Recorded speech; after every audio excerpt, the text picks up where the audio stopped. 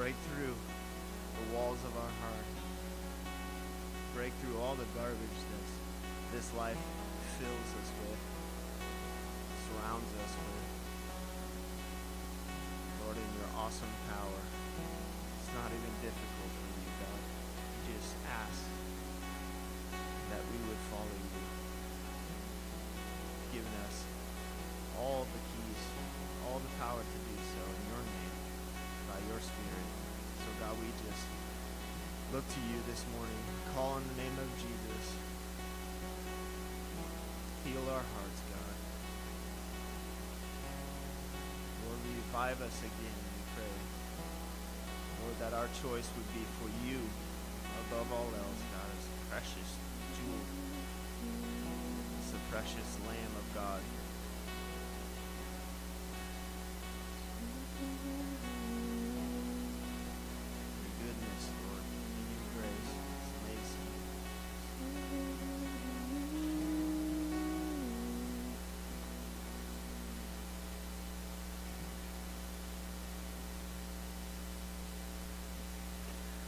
Heavenly Father, we just thank you this morning. You have done so much and given so much. And we are not in any way worthy of all that you have. As the Creator, you've created the stars and the heavens and the glory that is of them. And you've looked down upon us. What is man? What are we? That you would look upon us and extend your glory to us. So, Lord, we just lift up the name of Jesus in which it is all possible. And we give you all the praise and the glory for all that we do and all that we say. Let it lift up your name. In Jesus' name. Amen.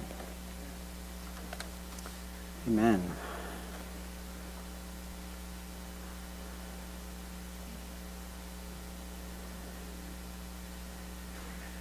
It is a great thing to come under the hand of a mighty God. But only if you are one who is his friend. I dare say if you are an enemy of God, you do not want to be under his thumb. Because there's no wiggling out of that. There's no escaping from the wrath of God if you do not have him deep in your own heart and soul. So last week, we celebrated the resurrection of our Lord Jesus. And we went through those days in which Jesus was betrayed and he was arrested and he was beaten and tortured and ridiculed and mocked. And then he rose up upon the cross and he gave his life. He yelled out, It is finished. And I'm sure those around him and even the devil himself wondered, What does that mean? He's finished. He's dead. Get him off that cross, bury him, put him away. We're done. Stick a fork in it, it's done. And little did they know the mystery that God had hidden within. Just like a seed must be buried and died before it can rise up and grow to a great tree and produce fruit, Jesus also had to die, and upon the third day he rose from the dead. And we did spend last week going through those details of the great resurrection that he brought. Even to the point of looking beyond that. In Thessalonians, Pastor read concerning the rapture of the church, the taking away, which will come at the appointed hour. But we're not there yet. And this morning I wanted to take a little bit of a look the day after, the week after, when Jesus had risen. And so we're going to take a look at the end of Luke 24 and starting in verse 46. It's the very last chapter of Luke. And the chapters preceding this um, was the crucifixion and the resurrection. And here Jesus is with his disciples. Verse 46 Then he said to them, Thus it is written, and thus it was necessary for the Christ to suffer and to rise from the dead the third day, and that repentance and remission of sins should be preached in his name to all nations, beginning at Jerusalem. And you are witnesses of those things. Behold, I send you the promise of my Father, upon which you. Oh, I send the promise of my Father upon you. But tarry in the city of Jerusalem until you are endued with power from on high. And he led them out as far as Bethany, and he lifted up his hands and blessed them. Now it came to pass while he blessed them that he was parted from them and carried up into heaven. And they worshiped him and returned to Jerusalem with great joy and were continually in the temple praising and blessing God. Amen. So here we have the disciples coming together with Jesus and spending the last moments with him on that day. Now, there is some time that transpired between them. Um, if we look over to the book of 1 Corinthians in chapter 15, Paul writes about some of those people that were witnesses of Jesus' resurrection.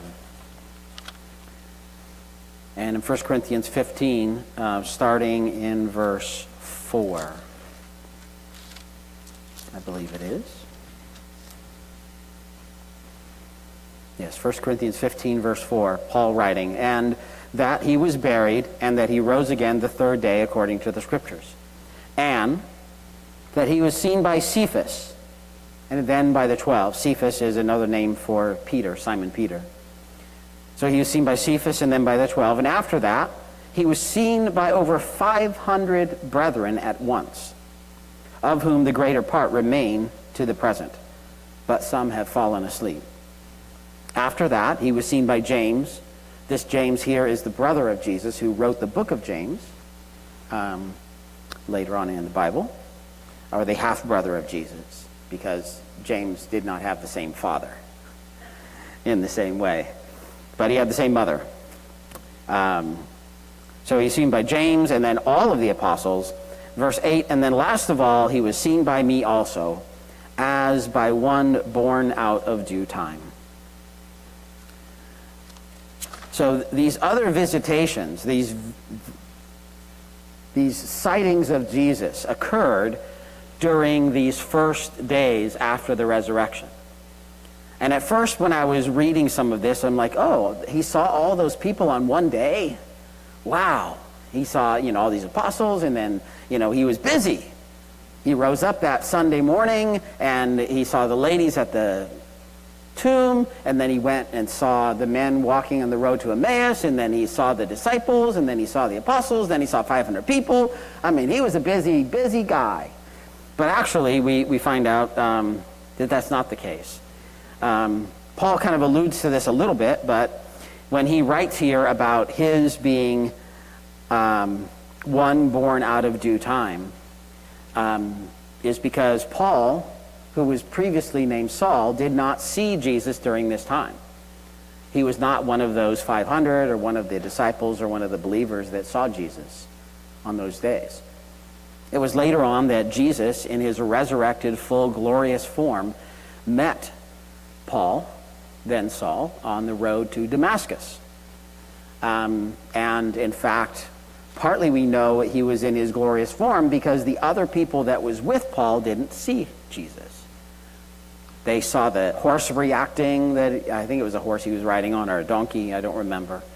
Um, and they heard some rumblings like thunder. but they did not see Jesus or hear what he said. Um, but Paul had this visitation and saw Jesus uh, again as one out of time.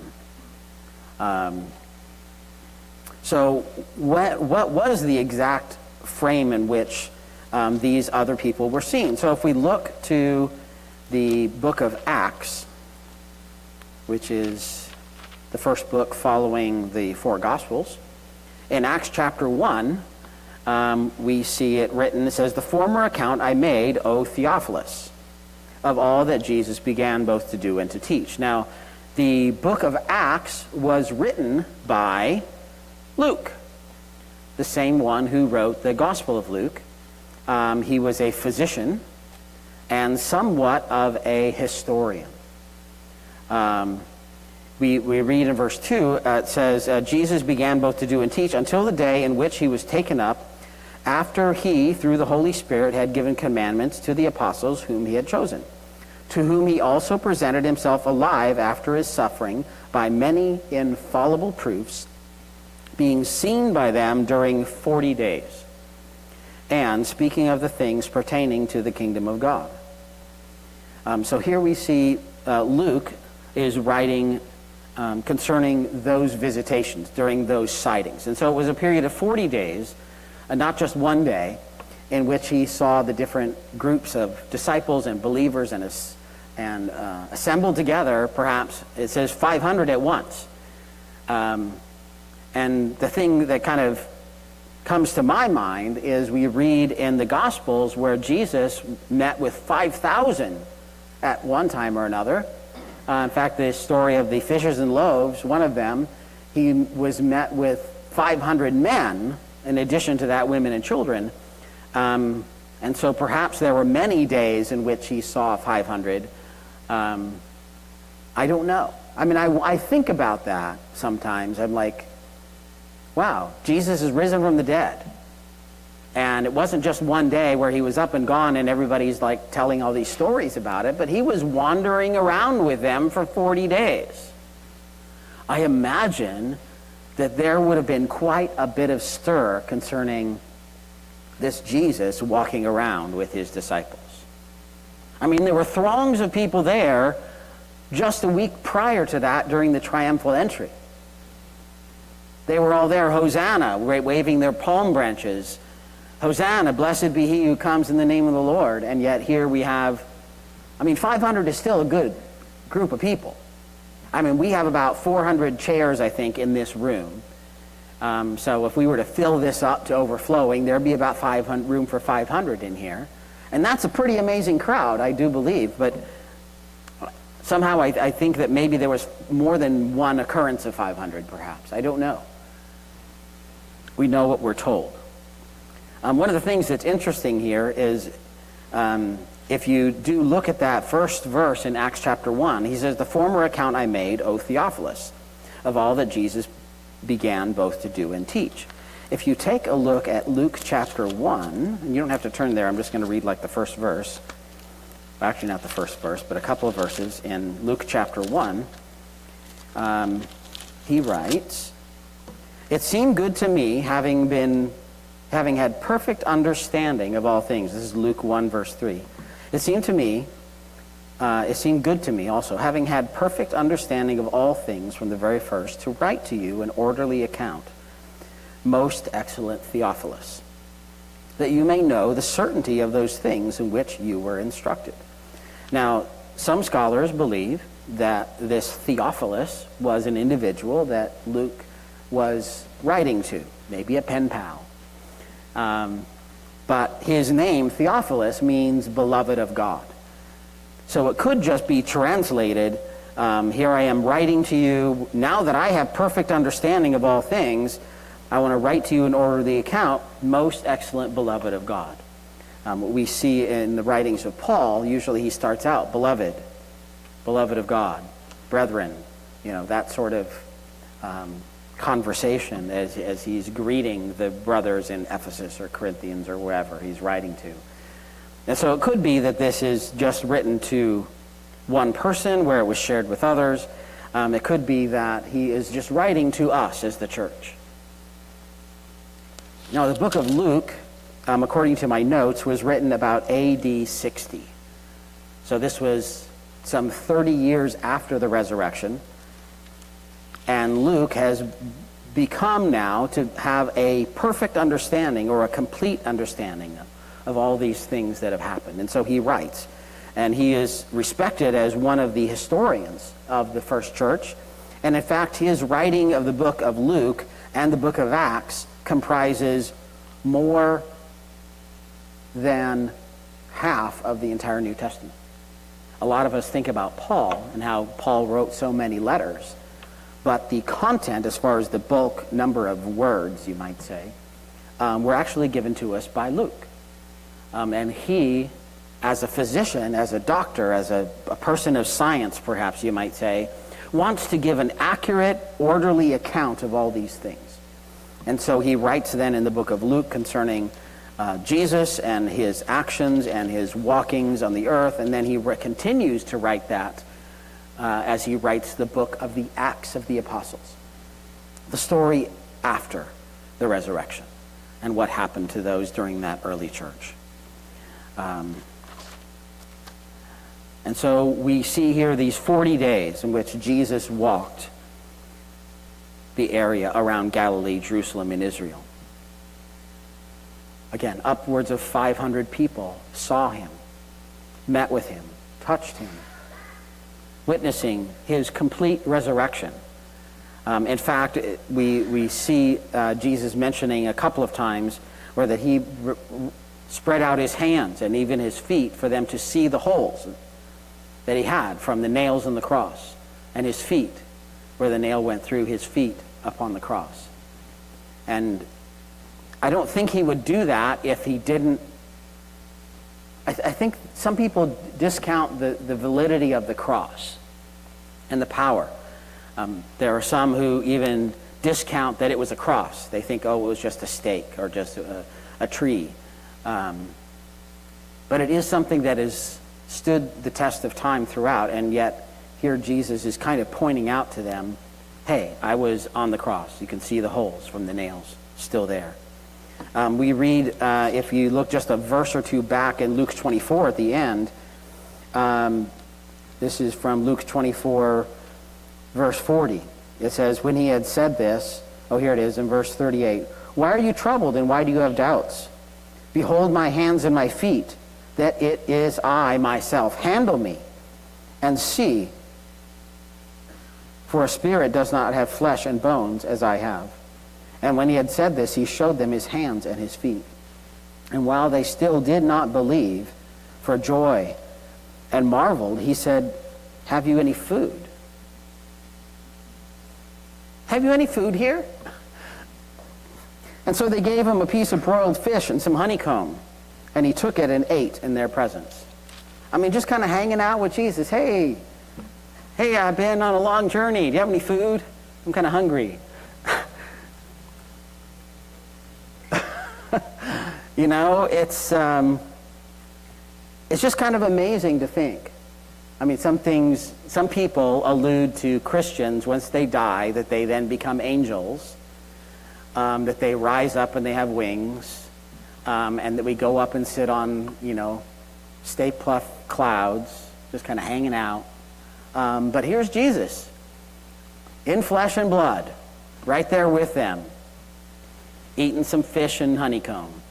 Um, and, th- and, there's another uh, there's another point where he goes out to see the, the brethren in one of the other gospels, and they're out fishing.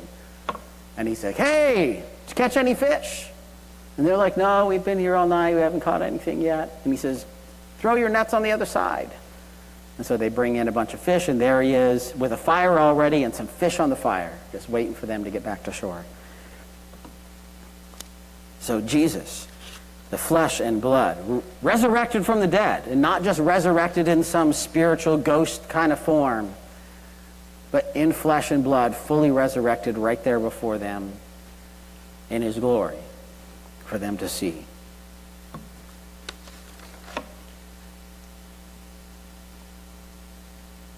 It astounds me to just think about that. Because as he ministered, as he walked the earth during the times before that, he was out ministering to people and healing people and, and doing, casting out demons and all those things. And I imagine even some of that occurred still then. Here were these people, uh, again, up to 500 at one time, who met with him and traveled with him over a period of 40 days. That's 40 days. That's over a month. That's like four weeks plus a few, right? Um, or is it five weeks? My math is eluding me at the moment.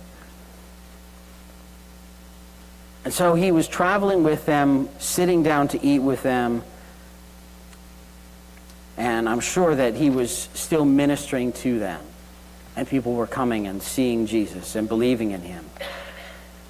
And yet, we read in this passage in Luke 24, he says, Behold, I send the promise of my Father upon you. I mean, hey, they spent time. They were walking around with Jesus. They were hanging out with him. I'm sure he was sharing with them. He was teaching them.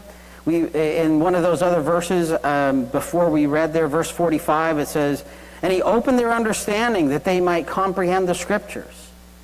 So they're sitting around hanging with Jesus. I mean, the most amazing man in the world, and they're sitting around hanging around with him and just being filled with all this understanding and wisdom and just overflowing with joy to just be hanging out with Jesus. And he says, But I'm going to send the promise of my Father. And they're like, What? There's more? I mean, we're with you, Jesus. What else do we need? We could just hang out here forever. I mean, you know, you've got your angels that could come and, you know, keep the uh, Romans away from us or whatever. I'd like to take a look, if you are still in Luke, to flip over to John chapter 14.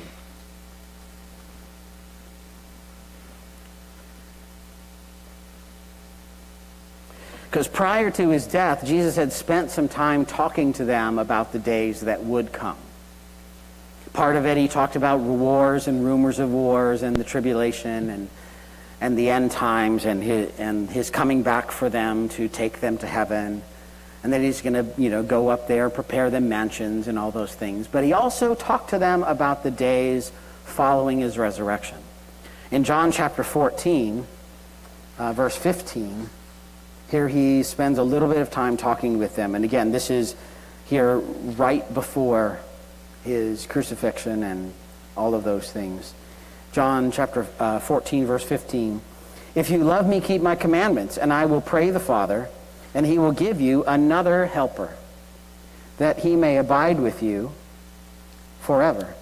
The Spirit of truth, whom the world cannot receive because it neither sees him nor knows him. But you know him, for he dwells with you and will be in you. I will not leave you orphans, I will come to you. A little while longer, and the world will see me no more. But you will see me, because I live, you will live also. At that day you will know that I am in my Father, and you in me, and I in you. So here they've come to that moment that he's talking about. A little while longer, and the world will see me no more. He died. The world saw him no more, and yet you will see me and because I live, you will live also. And again, some of this is alluding to that moment at the resurrection when he rises up and he's with them. And some of it is alluding to more because he talks about that he's going to send them a helper that he may abide with you forever. Let's uh, go down here to verse 26. It's saying John 14. But the helper, the Holy Spirit, whom the Father will send in my name, he will teach you all things and bring to your remembrance all things that I said to you. Verse 28 You have heard me say to you, I am going away and coming back to you. If you loved me, you would rejoice because I said, I'm going to the Father, for my Father is greater than I. And now I have told you before it comes that when it does come to pass, you may believe. So he says, I'm going to send you the Helper but I'm going to be with you, and you should rejoice that I'm saying I'm going to be going from you. And again, these things are happening now with them. They're remembering some of these things that he had taught them, and he's probably teaching them again. He's referring these things back to them again to remember these are the things I told you. I'm going to the Father, and I need to go to my Father. And I've told you before, so then when it happens, you'll believe. And so Jesus died, he rose from the dead. It happened just as he said, and now they believe. Let's flip over to John 15. 26.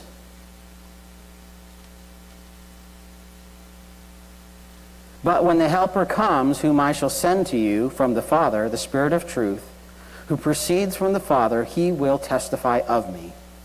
And you also will bear witness because you have been with me from the beginning.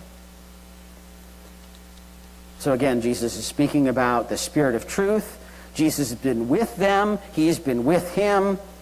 And they're going to bear witness of these things because he is they have been with him from the beginning. Over to john 16 just flip a page in my book. I still have many things to say to you verse 12 but you cannot bear them now. And again this he is talking to them right before gethsemane right before the persecution right before his death he says i have many things to say to you but you can't receive them now but now he's reminding them as he's spending these 40 days with them, he's going over these things now that he had spoken of before. Verse 13, however, when he, the Spirit of truth, has come, he will guide you into all truth.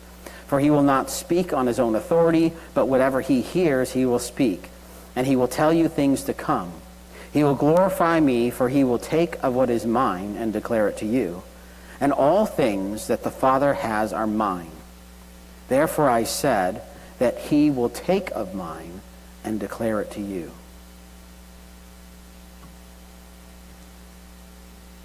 Verse 16 A little while, and you will not see me.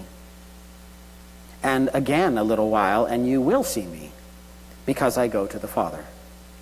And verse 20 Most assuredly I say to you that you will weep and lament, but the world will rejoice and you will be sorrowful, but your sorrow will be turned into joy. And this is what they've experienced. A little while from this moment, Jesus died, he was being persecuted, and all of the disciples, every one of them, ran and hid. In fact, one of them was running so fast that the, it says that one of the temple guards grabbed his coat and he ran off naked, leaving his coat behind. Maybe not completely naked, but. I mean, they were such in a hurry to get out of there. And we see even later on, as as you read through the times of Jesus' persecution, that Peter came along and pretended not to know Jesus as he was warming his hands by the fire with the general populace. But someone recognized him. And he said, No, that's not me. I wasn't, that wasn't me. I don't know Jesus. And then we also see there was the one who who was the beloved, John, who also kind of followed along at a distance to see what was happening. But all of the other disciples, all of them flew and hid for fear of the Romans and the Jews and the temple police coming after them. Because if Jesus is going to be arrested, then they're next. Because they were following him and they were saying the same things that he said. They were teaching the same things that he taught and they were afraid. And so here now we're reading what he was telling them before, and then he's reminding them. He says, Yeah, you were in sorrow, you were weeping and lamenting, and you were in fear. The world was rejoicing. We killed another prophet. We killed this guy who said he was the Son of God, Jesus. And now we can go on in our religious ways. The world was rejoicing, but they were in sorrow. And their sorrow was turned into joy on that Sunday morning, the first day of the week, when Jesus rose from the dead and they saw him. And for 40 days they saw him and ate with him and learned from him and took from him all this great wisdom and understanding. And yet, he said, wait, because there's more to come. There's more yet to happen.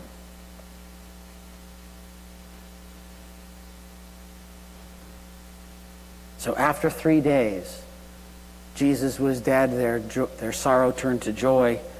Jesus was with them during these 40 days, and they were enlightened. He opened up their understanding.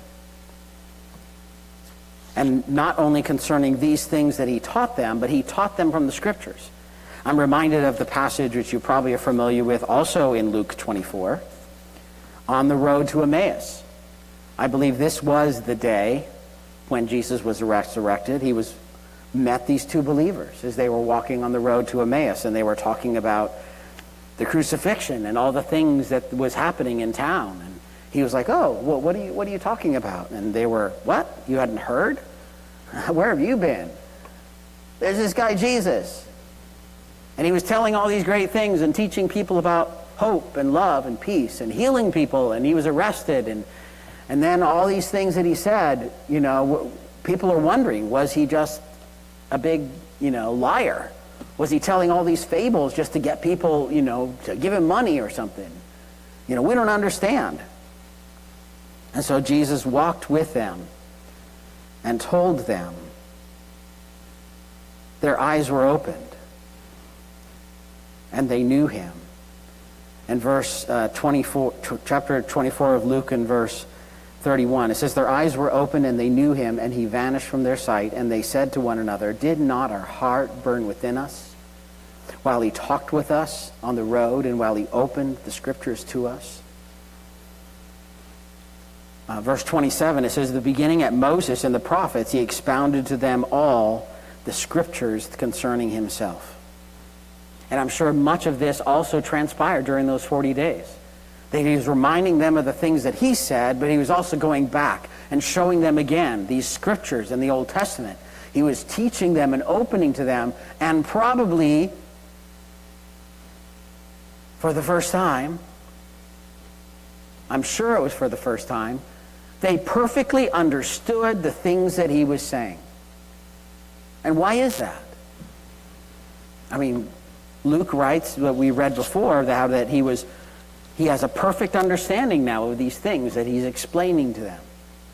Why was it that now they were able to understand? Well, the Bible tells us that the natural man does not perceive the things of the Spirit. But the spiritual man, which is one who has the Spirit of God, then does perceive and understand. And so this is what has happened. They are now believers. They are Christians on this day. He rose up from the dead, and they saw it and they believed. And if for some reason one of them had fallen asleep or died during those 40 days, they would have gone directly to heaven. There was nothing else they needed to do to be with God forever and ever because they had received Jesus. And he was with them, teaching them, and they had received the Spirit inside of them so that their understanding was enlightened, so that they understood the Scriptures. Not just as he taught them, but their, enlightened, their whole understanding was enlightened. And they perceived and understood. Just like the, the other thief on the cross. You know, there were three, three crosses, according to our understanding. Jesus in the middle, and there were two thieves on either side. One of them was mocking and scorning with the crowd, the other one was saying, Mercy. Please remember me when you get to your, your, your place. And Jesus said, Assuredly I say to you that you will be with me today, this day in paradise. And so that man died, and he was with the Father. He believed. He believed who Jesus was, and Jesus said, You will be with me today. I'm not so sure about some of the other disciples, though, on that day. I don't know. We are not told about others who died during those three days in which Jesus was in the tomb. But I do know that here during these 40 days, they had received the Spirit, they were born again, they had accepted, they fully knew and believed that Jesus had risen from the dead.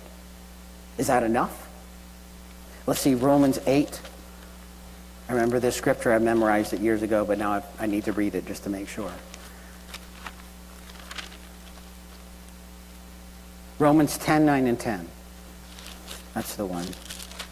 I didn't have this plan, but hey, God is good. Amen. Um, Romans 10, 9, and 10. And you've probably heard it. That if you confess with your mouth the Lord Jesus and believe in your heart that God had raised him from the dead, you will be saved. It's kind of a recipe. If you confess with your mouth Lord Jesus and believe in your heart that God has raised him from the dead, you will be saved. For with the heart one believes unto righteousness, and with the mouth confession is made unto salvation. That is it. That is all you need. That's enough. When Jesus said it is finished, that's part of it too. Everything that you need to have to be saved and to be with God and to be in heaven is done on that day when he died and he rose from the dead. That is it. Your salvation is complete.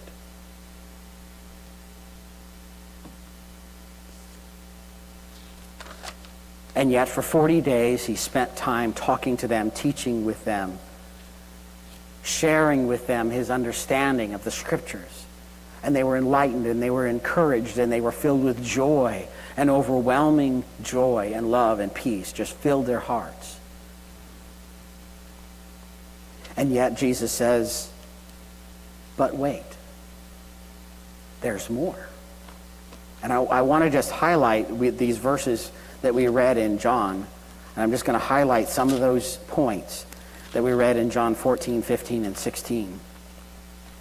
In John 14, 16, Jesus tells them that the Spirit abides with us forever. Verse 17, He is the Spirit of truth that the world cannot receive. Also in verse 17, you know Him, for He dwells with you and will be in you. And here I believe He's talking about two things concerning the Jesus himself has been with them present tense or past tense and then future tense speaking of the spirit of Christ will be in them. Because the spirit you know wasn't in them yet because at the point when he was teaching them he they had not believed. He had not risen from the dead yet. Verse 20 at that day you will know that I am in the father and you in me and I in you. That's one of those things that the Spirit now comes and gives to us that we will know that Jesus is in the Father and that we are in Him and that He is in us.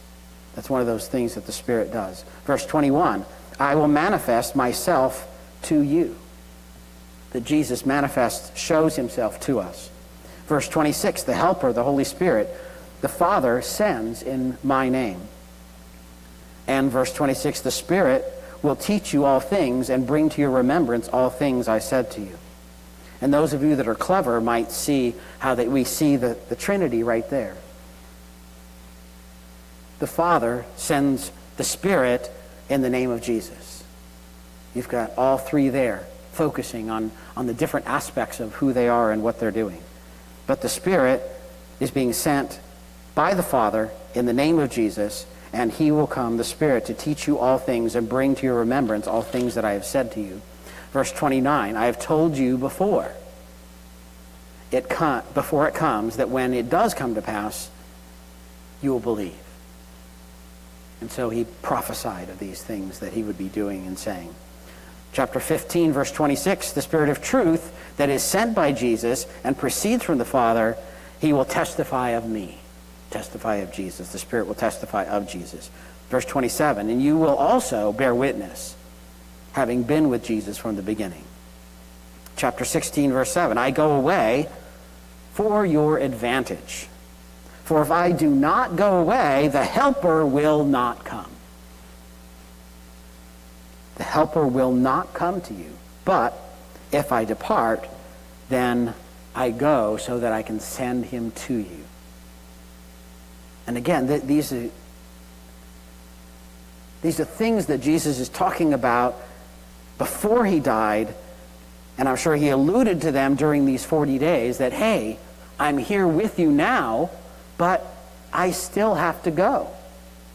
I cannot stay here hanging out with you eating fish and chips or fish and honeycomb. I know it's great. The fellowship is great. The knowledge, the wisdom, the understanding is great. Just hanging out with Jesus. And yet there's more. He says there's more. The helper's going to come and he's going to do all of these things. 16 verse 12, the Spirit will guide you into all truth, the helper. And what he hears, he will speak and he will tell you things to come. Verse 13, and he will take things that are of the Father and of Jesus, and he will declare them to you. All of these things, Jesus is reminding them that this is yet to happen. In Acts chapter 1, we see that Jesus was with them, and he spent these 40 days. Going back to Acts chapter 1, verse 4. And being assembled together with them, he commanded them not to depart from Jerusalem, but to wait for the promise of the Father, which, he said, you have heard from me. For John truly baptized with water, but you shall be baptized with the Holy Spirit not many days from now. Therefore, when, he, when they had come together, they asked him, saying, Lord, will you at this time restore the kingdom of Israel? And he said to them, It is not for you to know the times or the seasons which the Father has put in his own authority. Verse 8 But you shall receive power when the Holy Spirit has come upon you. And you shall be witnesses to me in Jerusalem and in all Judea and Samaria and to the end of the earth. The promise of the Father had not yet been given to them. They were born again. They had received the Spirit.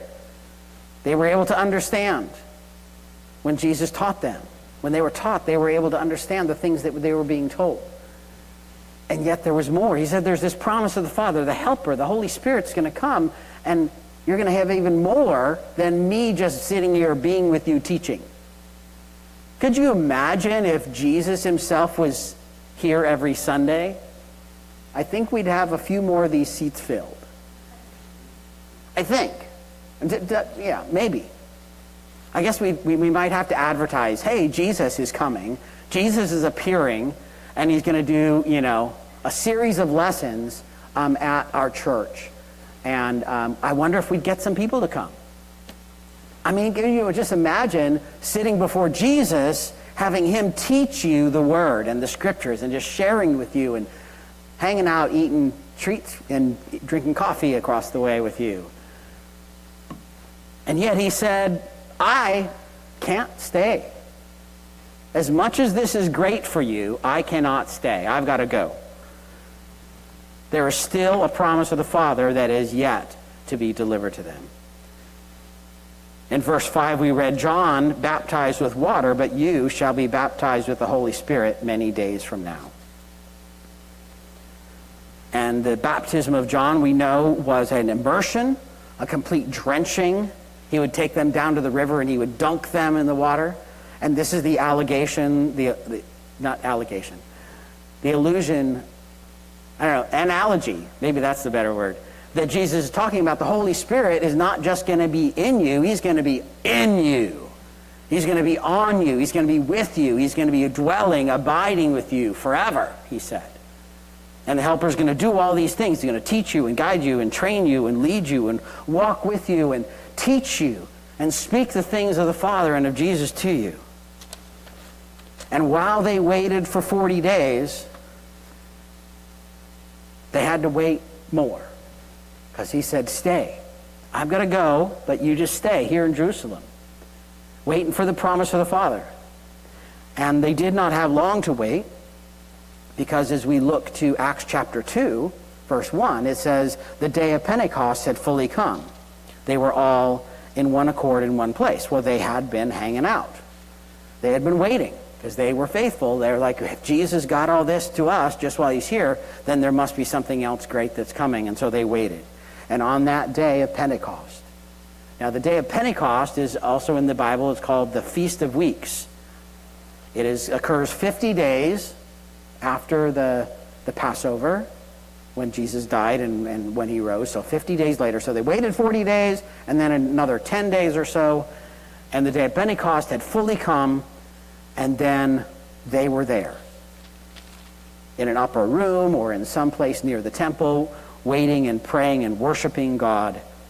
In verse 2, it says, And suddenly there came a sound from heaven, as of a rushing mighty wind, and it filled the whole house where they were sitting. And then appeared to them divided tongues of fire, one sat upon each of them. Verse 4, And they were all filled with the Holy Spirit, and began to speak with other tongues as the Spirit gave them utterance. Now, back in verse 8, I read, it says, when the, when, But you shall receive power when the Holy Spirit has come upon you. Now, this word power is a Greek word dunamis, and we get our word dynamite from that. Um, he says, when the Holy Spirit's going to come on you on this promise, when the promise of the Father is going to come on you, when the Helper is going to come and be with you and abide with you forever, then there's going to be this power, this dynamic power that's going to be upon you. And you are then going to be witnesses of me. You're going to testify of me. You're going to be out there doing the things that I have done. And it's going to be this powerful witness that he is going to be with them and upon them.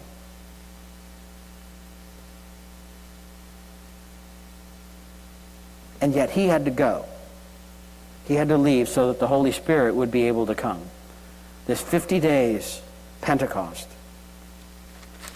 Now, as I was reading this, and, and you'll read the, the description of Pentecost, the Feast of Weeks, in the book of Leviticus, um, an interesting thing that I saw was when they had the Passover, and like we usually do with our communion, we do like a flat bread that has no leaven. Leaven is like yeast, it makes the, the bread rise so that you have loaves. Well, in the Feast of Weeks, they're not eating this Passover flat bread anymore. They have loaves of bread and which this one scholar or, or person was writing about how that they were alluding to that the leaven, which is sin, that in order for us to receive Christ, sin has to be removed so that we can receive him, we can receive the bread of his broken body and the blood represented by the wine or the juice. We need to remove sin. But after that, that 50 days later, then it's not that sin is there, but hey, we're the church. We're not perfect anymore. And he kind of alludes to that, and I kind of like that. So they're eating loaves because it represents how that all the church now is combined together into one big fluffy loaf. We're all here together now. And that he has sent his Holy Spirit, this dynamic power, as taught by Jesus, was sent by Jesus from the Father and that he has come so that we can testify of him. So I want to read just a couple of passages from the book of Acts that kind of alludes to this idea in how in Acts chapter 8, and we're going to also read a little bit from Acts chapter 19, how that these believers, disciples, apostles, followers, on the day of his resurrection became Christians because they believed. And yet, there was another promise yet. Even though it was finished for salvation, there was yet more. There was yet a promise that had not been given to them yet because Jesus was with them, and so the Holy Spirit couldn't come to be in them. And we read in Acts chapter 8, verse 14 that there were um, some Christians going out and doing ministry. Here it's uh, concerning the ministry of Philip. Uh, verse 14 in chapter 8 of Acts. Now, when the apostles who were at Jerusalem heard that Samaria had received the word of God, they sent Peter and John to them, who, when they had come down, prayed for them that they might receive the Holy Spirit. For as yet he had fallen upon none of them they had only been baptized in the name of the Lord Jesus. And so they laid hands on them and they received the Holy Spirit. So this passage here is similar to the waiting that they did. They had received salvation. They had been baptized unto John's baptism into repentance and they believed in Jesus, and yet the Holy Spirit had not fallen upon them. They were still living as Christians, still living as believers, still following Jesus and, you know, reading the scrolls or the Old Testament, following him and, and speaking of him and doing what they could of, you know, with him and of him and of the Christians and hanging out. And, but the Holy Spirit had not yet fallen on them because they had not received that other promise. They hadn't received the full promise of God yet. In Acts 19, we see another passage, starting in verse 1. And it happened while Apollos was at Corinth that Paul, having passed through the upper regions, came to Ephesus. And finding some disciples, he said to them, Did you receive the Holy Spirit when you believed? And so they said to him, We have not so much as heard whether there is a Holy Spirit. And he said to them, Into what then were you baptized? And they said, Into John's baptism. Then Paul said, verse 4 John indeed baptized with the baptism of repentance, saying to the people that they should believe on him who would come after him, that is, on Jesus Christ. And when they heard this, they were baptized in the name of the Lord Jesus. And when Paul had laid his hands on them, the Holy Spirit came upon them, and they spoke with tongues and prophesied. And so we have a couple of instances where other believers coming after the day of resurrection, these people were not there. They were not among those 500. These were people in other cities who later on believed in Jesus and had become saved and had repented of their sins and were following Jesus and yet had not fully received the promise of God. And so I, I just put that out there for your consideration. I know many times we find ourselves struggling to serve Jesus, to serve God. The day that we live in is full of conflict and struggle. And the name of Jesus is being put down and thrown out of all, of all around us the government and the schools and you know, all those things. But just in daily life, it's more and more that you know, that I, I see things where they go out and talk to young people who have never, never heard of Jesus. I mean, I remember when I was a kid back in the 60s, and the early 70s, it seemed like everybody knew who Jesus was. They didn't believe in him, but they had heard. Now, maybe they didn't, you know, we didn't pray when I was in high school. We didn't pray when I was in elementary school. We didn't pray in school. We didn't read Bibles in school. We didn't have Bible classes. But people went to church. Sometimes even just the kids went to church and their parents, you know, would drop them off and pick them up later. But it seemed like everybody knew Jesus was. I mean, there were movies, there was the Ten Commandments with, you know, all these different things out there. And yet, today, there's a lot of people who just don't know. And I think it is important for us as Christians to take that extra step to, to follow as the disciples did. Now, it doesn't mean that you're going to, you know, roll about on the ground and start speaking in tongues. That's not the witness that every person who receives the baptism of the Holy Spirit. But certainly there is so much more. Because Jesus said it wasn't just hanging out with Jesus, it wasn't just fellowshipping with the Spirit and just hearing the things and coming to church every day or coming to church every week, once a Sunday or once in a while, to hang out and hear and understand because he said there's more. The promise of the Father is that the Holy Spirit is not just presented to you when you come on Sunday, but that He's with you, He abides with you every day, and He's there to teach you and to guide you and to remind you of the things that God has spoken. And I think it's something that we all should have more of and years we've sung songs about, you know, come again, refresh me again, O Holy Spirit. Because he's got more.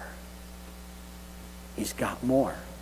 And yes, it was finished. Yes, if you've believed, you have salvation, but there is more. And there's more to this life. There's more to our walk. There's more abundance of joy and overwhelming peace and security and confidence there's this dunamis, dynamite power that God has for every one of us. And it's more, and it's available. Amen. So we're going to sing a song or two, perhaps. If you would like to receive prayer, we have some people who will be here to pray with you, to pray for you. Or if you just want to come and, and seek God on your own, either at the front on the altar or even just there where you're sitting. I remember many days just turning around in my chair so that I could put my knees on the ground. Because there is so much more. And if you find yourself struggling and you know you're saved, just know that there's more of God that He wants to give you and share with you, to give you strength, to fill you with hope and joy overflowing. Because it's hard for you to share those things if you don't have enough for yourself. Let's worship God. If you want to stay and worship, then please do. Come seek his face with us as we're going to sing. Um, I ask that if you're going to just fellowship, that you can take it across there or at least outside the doors there. And those who want to stay and, and worship and seek God can have a, a place to do that here as we sing. Brother Ben?